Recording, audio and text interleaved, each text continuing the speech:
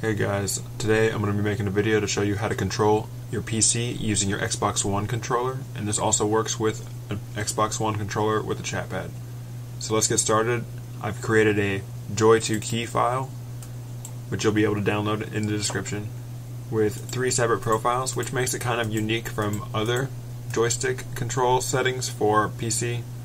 Um, what it's going to do is going to let you control the speed of the mouse cursor and the scroll wheel on the fly and also bind different functions to the same buttons depending on which bumper you're holding. So let's get into the controls of this. You can see this is the standard layout. If you're not holding any modifying buttons, which is left bumper or right bumper, your B button is going to be your right click and X is going to be left click. So you got left click on the left side, right click on the right side. And then see A and Y do nothing in the default mode. And also the triggers are bind to the clicking button, so left trigger to left click, right trigger to right click.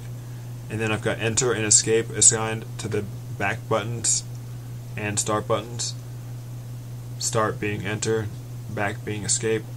And then the left stick is bind to the mouse and the right stick is bind to the scroll wheel. So this is going to let you scroll up and down on web pages like this and then the D-pad is up and down and zoom in and out, and then we've got go back and forward on left and right. So that's pretty standard stuff. You can move the mouse. I'm controlling with the controller now. And you see I can select things and I can right click, whoops. But let's see what happens when you hold right bumper. It's going to turn it into slow select mode, is what I call it. So when you hold right bumper, your mouse is going to slow down significantly. Let's see the difference. So this is slow mode, and this is standard mode. As well as scrolling, I'll show you, is really a lot slower. You got to hold it for a second for it to even move. And this is standard scrolling when you're trying to move through a web page fast.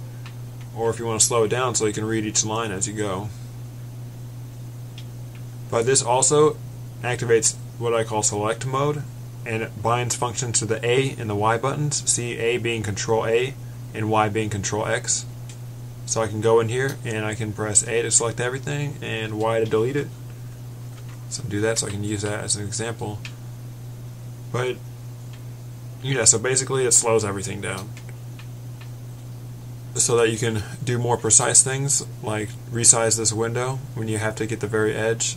Sometimes it's still hard the sacrifices you make when you control it with a controller. But see, I can resize the window in slow mode, or I can continue holding the X button and let go and be resizing in fast mode. But see, when you're in fast mode, it's kind of hard to get to that window to resize it. Just can't quite line my mouse up, it's too fast. That's why there's slow mode. Alright, and then let's see what happens when you hold left bumper, which is going to activate fast slash copy mode. So let's go to the next one. This one is going to make your mouse significantly faster as well as the scrolling. Scrolling happens much quicker in this mode. So this is going to be when you say I have two monitors for example and it can be a pain to scroll all the way to the side so sometimes it's good to have it just go a lot faster. And if this isn't fast enough for you, you can actually change it using the script I provide in the description. But let's go over what's different between fast copy mode and standard mode. So I call it copy mode because I've um, assigned Control C and Control V to A and Y, so you can actually select these things, and if I hold left bumper and press A, I can copy those things, and if I press Y, I can paste them. So you can't actually tell what I'm doing here because it's all the same. But there you go, copy and paste in case you need it. But the most useful feature is definitely just being able to go faster. I'm sure you're not going to be doing any detailed computing with your controller. But with that out of the way, let's take a look at the JoyToKey file so you guys can get more acquainted with it. Now when you download my script, this profile, Xbox controller, you're going to go to File, and then you're going to open a file from File Explorer, click that, and then navigate to where you've downloaded JoyToKey and my profile, and then it's just going to work. You might also you might also have to configure the joysticks and set it to your Xbox controller. But there's plenty of videos on how to set up Joystick Key. I'm not going to go into much detail. It's a pretty easy program to figure out. So see here, you can see my functions. This is joystick 1, which means no button is being held down. How I switch the profiles is see button 4 and 5, which are left bumper and right bumper.